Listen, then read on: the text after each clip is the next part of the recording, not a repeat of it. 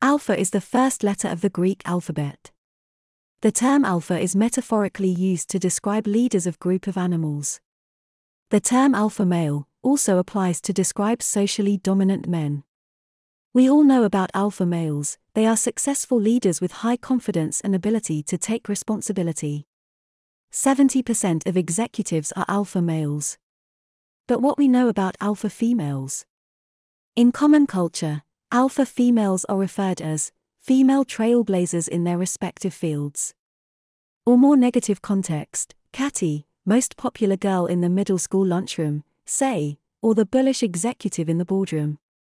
The stereotypical image of an alpha female, commonly is, in a power suit and sky high heels, hair and makeup done, with perfect hair, confidence, and an executive level job. But real nature of alpha is not physical appearance. Easy method to identify alpha female is someone that takes the lead, whether or not they are the identified leader or subject matter expert. And second, do people constantly ask your opinion? Are you the go to person in your group of friends?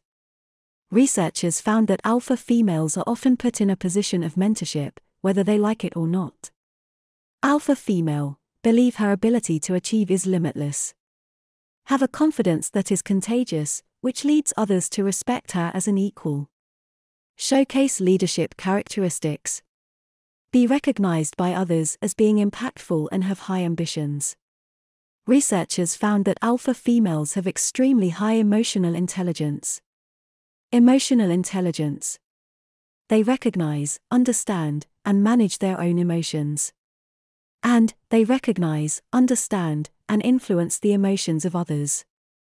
According to studies, alpha females are continuous learners. They read constantly books about what they do and books in subjects completely new to them. Also, they learn from experience, or learn from others. Alphas are a combination of awareness and adaptation. There are four types of alphas the unaware non adaptive, the unaware adaptive, the aware non adaptive, and the aware adaptive.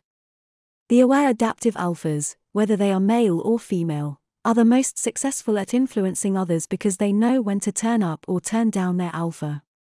The most dangerous alpha is the unaware non adaptive alpha. These people are often referred to as bullies. An aware adaptive alpha has the ability to buffer the negative impact of unaware non adaptive alphas who are often the reason for abusive power and dysfunction. Women's instincts of being collaborative, empathetic, and naturally communicative help to buffer the downside of being an alpha. This, in turn, increases the probability that a female alpha is aware and adaptive. Goldman Sachs won't help companies go public unless they have at least one diverse board candidate.